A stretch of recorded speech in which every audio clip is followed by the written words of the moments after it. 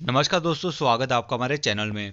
दोस्तों, इस वीडियो में बात करेंगे इंटेग्रा एशिया लिमिटेड के बारे में। आज के दिन की बात करें, एक बार फिर से हमें शेयर में दो परसेंट के आसपास का लोअर सर्किट देखने को मिल चुका है। दोस्तों, इस शेयर का पहले पाँच दिन का चार्ट ओपन करूँ लोअर सर्किट में ये शेयर हमें डील करता हुआ देखने मिला एक मंथ का चार्ट ओपन करूँ तो आप यहाँ पे देखोगे, कंपनी के क्वार्टर थ्री के रिज़ल्ट के बाद इस शेयर में लगातार लोअर सर्किट देखने को मिलता जा रहा है। ये कंपनी तब हमें हाईलाइट होती हुई देखने मिली, तब सबकी नज़रों में आती हुई देखने मिली। जब मार्केट में न्यूज़ आती हुई देखने मिली कि एल ने इस कंपनी में अच्छी खासी होल्डिंग उठाकर रखी है, अड़तालीस लाख के आसपास के शेयर LIC ने इस छोटी सी कंपनी के अक्वार किए शेयर में कच्ची अच्छी खासी तेज़ी देखने को मिली। कंपनी ने एक ही मंथ में आपके पैसों को दोगुना भी कर दिया था, जो कि एक अच्छी बात के सामने आती है। कंपनी के क्वार्टर थ्री के रिज़ल्ट की बात करें, कंपनी का हमें ईयरली बेस पे ऊपर जाता हुआ देखने को मिला, लेकिन क्वार्टर बेस पे हमें डाउन जाता हुआ देखने को मिला, लेकिन ईयरली बेस पे भी कंपनी के रेवेन्यू की बात करें, एक अच्छा खासा रेवेन्यू और उसी के साथ अगर इनके एक्सपेंसिव को निकाल दे तो ईयरली बेस पे कंपनी ने एक अच्छा खासा नेट प्रॉफिट भी शो किया था, जो कि एक अच्छी बात देखने को सामने आती है उसके बाद मैं एक और अपडेट लेके आया था कि जिसमें न्यूज़ में साफ़ साफ़ बताया गया कि एल अभी भी शेयर में बोले से एल आई शेयर से एग्जिट करते हुए नहीं देखने मिले क्योंकि एल को भरोसा कि आने वाले समय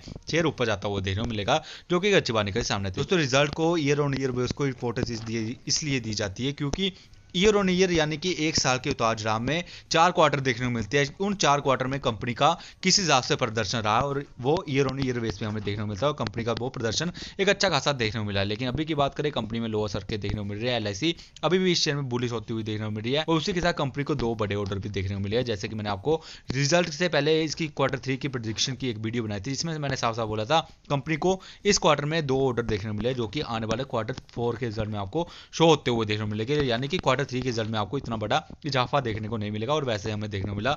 लेकिन अगर अभी की बात करें कंपनी को इस क्वार्टर में दो बड़े ऑर्डर देखने को मिले। यानी कि कंपनी आने वाले क्वार्टर फोर में एक अच्छा खासा रेवेन्यू कमाती हुई देखने को मिल सकती है। और कंपनी ने अगर अपने एक्सपेंसिव पे कंट्रोल का है तो कंपनी एक अच्छा खासा नेट प्रॉफिट ईपीएस कमाती हुई देखने को मिली। तो कंपनी में एक बार फिर से अपर सर के देखने को मिल सकती है और कंपनी आपको एक अच्छा खासा रिटर्न देती हुई देखने को मिल सकती है। तो अगर आप इस को बाय करने के बारे में सो रहे हो तो मैं आपको ये बोलूँगा एस के ज़रिए इस चीज़ में इन्वेस्टमेंट करना शुरू कर दीजिए। जिस हिसाब से कंपनी काम करती हुई देखने को मिली है कंपनी आने वाले समय में अच्छा खासा रिटर्न देती हुई देखने को मिल सकती है। अगर रिवेन्यू की बात करें, वो भी आप देख सकते हो ईयर ऑन ईयर बेस पे।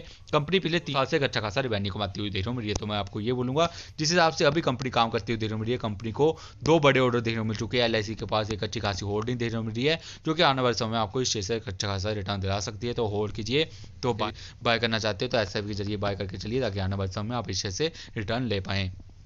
सो आशा करता हूँ दोस्तों, आपको ये वीडियो अच्छी लगी हो, अच्छी लगी है तो इस वीडियो पर एक लाइक ज़रूर दीजिएगा। धन्यवाद।